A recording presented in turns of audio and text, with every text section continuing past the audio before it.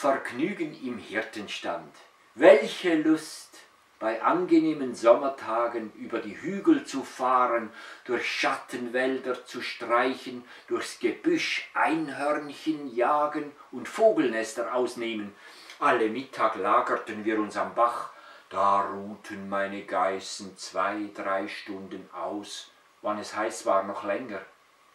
Ich aß mein Mittagbrot, sog mein Geißchen, badete im springhellen Wasser und spielte mit den jungen Gitzen.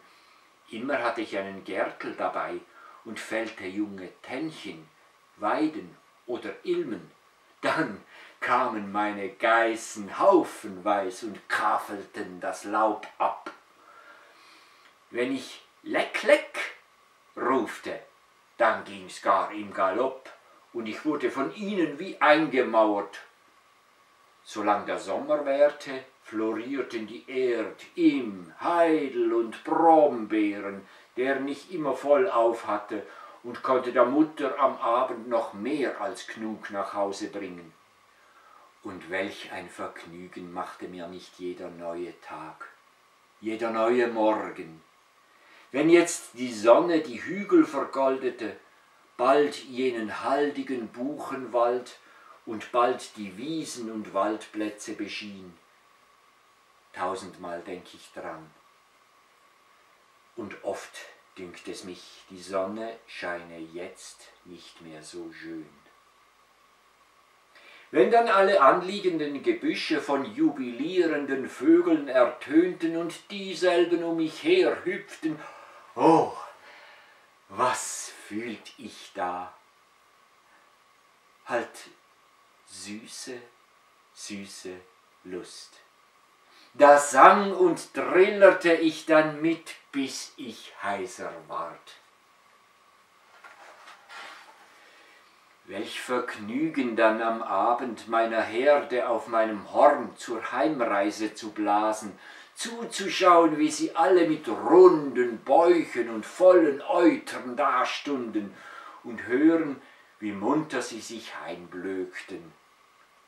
Wie stolz war ich dann, wenn mein Vater mich lobte, dass ich so gut gehütet habe.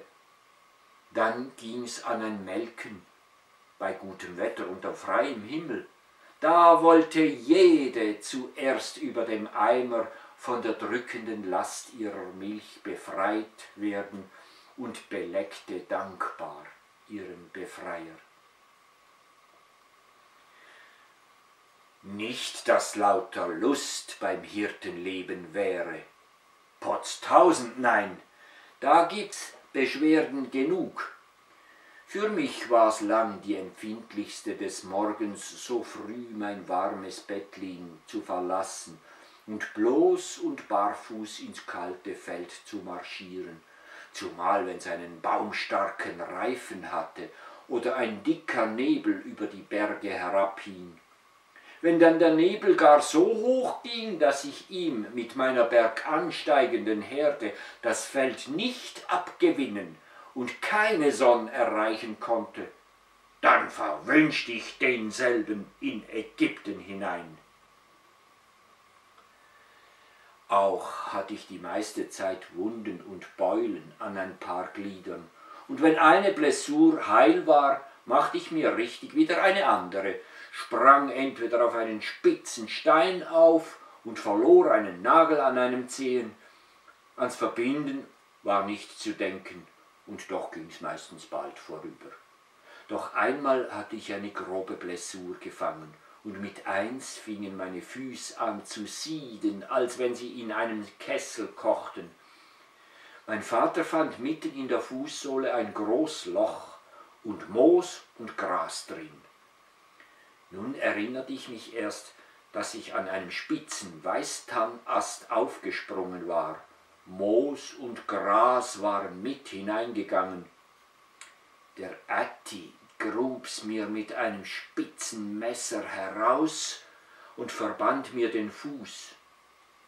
Nun musste ich freilich ein paar Tage mit meinen Geißen langsam hinten nachhinken.